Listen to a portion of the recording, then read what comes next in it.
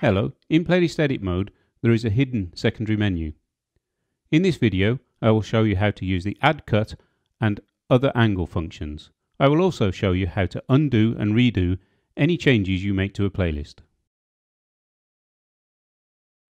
In playlist edit mode, the display on the remote contains the basic modifications you can make in your playlist. But there's also a secondary menu available, even though there is no indication that this exists.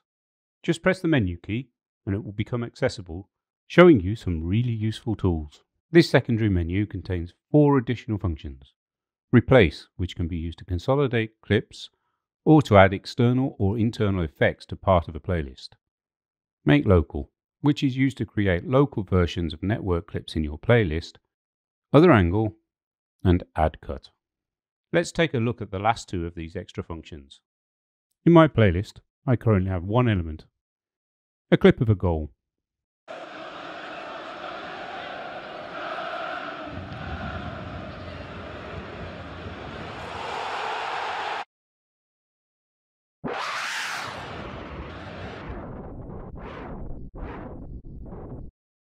By using the add cut function, I can quickly slice this one element into two different clips.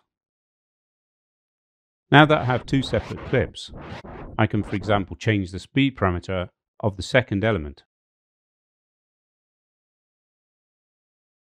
Let's have a look at the result.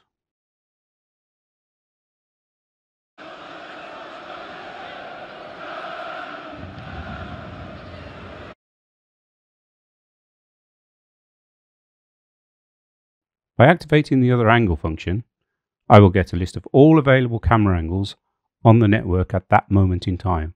So let's change the camera angle and we'll have a look at the result.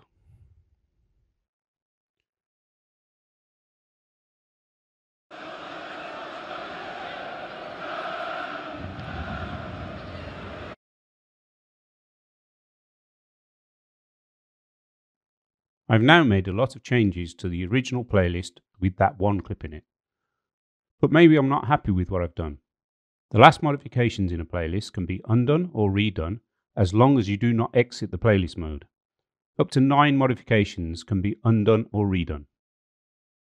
The redo undo functions are available in that secondary menu. So let's undo all the changes I did before, so we end up again with our one original playlist element.